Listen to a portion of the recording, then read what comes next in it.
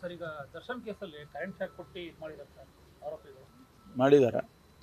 ನಿಮಗೆ ಹೆಂಗ್ರಿ ಗೊತ್ತಾಯಿತು? ಅಲ್ಲ ಸುಮ್ಮನೆ ನೋಡಿಯಪ್ಪ ಅದು ಇನ್ವೆಸ್ಟಿಗೇಷನ್ ಆಗುತ್ತೆ. ಅದರಲ್ಲಿ ನಾವು ಯಾವುದನ್ನು ಕೂಡ ಬಹಿರಂಗವಾಗಿ ಸಾರ್ವಜನಿಕರ ಮುಂದೆ ಹೇಳಕ್ಕೆ ಬರೋದಿಲ್ಲ. ಇನ್ವೆಸ್ಟಿಗೇಷನ್ ಆಗಿ ವರದಿ ಬರುತ್ತೆ. ಕಾನೂನು ಪ್ರಕಾರ ಏನು ಕ್ರಮ ತಗೋಬೇಕು ಅದನ್ನು ತಗೊಳ್ತಾರೆ. ಯಾವುದೇ ಮುಲಾಜಿಲ್ಲದೆ ನಾವು ಕ್ರಮ ತಗೊಳ್ತೀವಿ ಅಂತಲೂ ಕೂಡ ಅನೇಕ ಬಾರಿ ನಾನು ಹೇಳಿದ್ದೀನಿ ಮುಖ್ಯಮಂತ್ರಿಗಳು ಹೇಳಿದ್ದಾರೆ. ಅದರಲ್ಲಿ ಯಾವುದೇ ಯಾರನ್ನೇ ರಕ್ಷಣೆ ಮಾಡೋದಾಗಲಿ ಅಥವಾ ಯಾರಿಗಾದರೂ ಸಾಫ್ಟ್ ಕಾರ್ನರ್ ತೋರಿಸೋದಾಗಲಿ ಅವೆಲ್ಲ ಏನು ಯಾವುದು ಕೂಡ ಇಲ್ಲ. ಯಾವ ಒತ್ತಡಕ್ಕೂ ನಾವೇನು ಮಣಿಯೋದಿಲ್ಲ.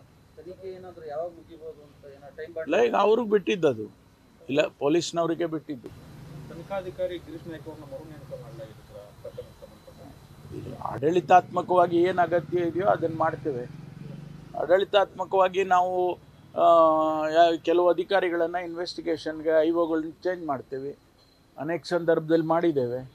ಮತ್ತು ಯಾರು ಸಮರ್ಥವಾಗಿ ಅಧಿಕಾರಿಗಳಿದ್ದಾರೆ ಆ- ಆ ಕೆಲಸ ಮಾಡೋದಕ್ಕೆ ಇನ್ವೆಸ್ಟಿಗೇಷನ್ ಮಾಡೋದಕ್ಕೆ ಅಂತೇಳಿ ಅದನ್ನು ಅವರೇ ಅವರೇ ಮಾಡ್ಕೊಳ್ತಾರೆ. ಇಲಾಖೆಯವ್ರು ಮಾಡ್ತಾರೆ. ಅದಕ್ಕೆ ನಾವ್ಯಾರು ಕೂಡ ಅವ್ರಿಗೆ ಸೂಚನೆ ಮಾಡೋದಿಲ್ಲ.